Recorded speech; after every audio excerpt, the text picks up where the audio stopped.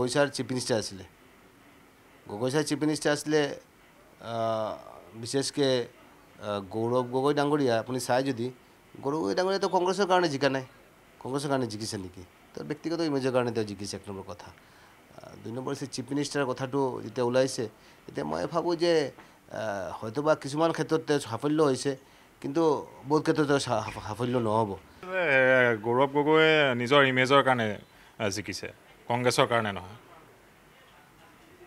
হয় মই কৈছোঁ আৰু। তেওঁ তেওঁৰ ইমেজৰ কাৰণে জিকিছে আৰু। কংগ্ৰেছৰ ক'ত সংগঠন আছে আৰু? কিবা অসমত ক'ত বা কংগ্ৰেছৰ সংগঠন আছে নেকি? কিন্তু তিনি তিনিটাতো সমষ্টি জিকিছে।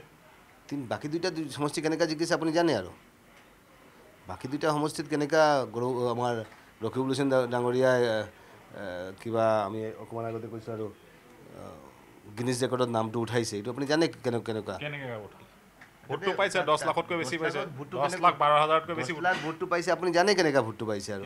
তাতে তাতে মাইনৰি ৰাইজে দিছে গোটেই গোটেই গোটেই মাইনৰিটি পপুলেশ্যন হয়। তাতে বদৰুদ্দিন হওক আৰু বদৰুদ্দিন আজমল হওক দুইজনৰ মাজত একজন জিকিব আৰু।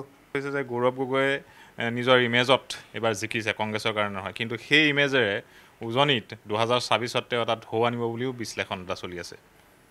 চব কথাটো তেওঁৰ ইমেজত জিকিছে মানে তেওঁক মানে ভোট দিছে। মই মোৰ ইমেজত জিকিছোঁ মোক মানে ভোট দিছে।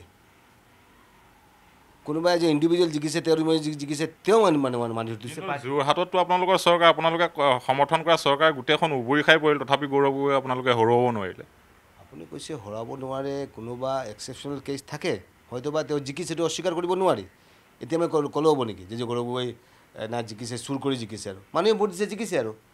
এনেকৈতো আমি হাফ- ক- কৰিমগঞ্জৰ নিচিনা ক'ব নোৱাৰি চুৰ কৰি জিক গৈছে আৰু। এইটো মানুহে ভোট দিছে জিকিছে।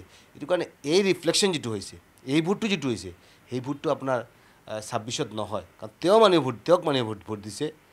তেওঁ মানে এম এল এৰ ক্ষেত্ৰত এইটো নহয় এইটো কাৰণে যিটো ৰিজাল্ট হৈছে আপুনি চাব যে আমাৰ দ্য বেষ্ট ৰিজাল্ট হ'ব আৰু মই ভাবোঁ অসমৰ ইতিহাসত আটাইতকৈ ভাল ৰিজাল্ট ছাব্বিছতো বিজেপিৰ হ'ব বুলি মই আশা ব্যক্ত কৰিছোঁ।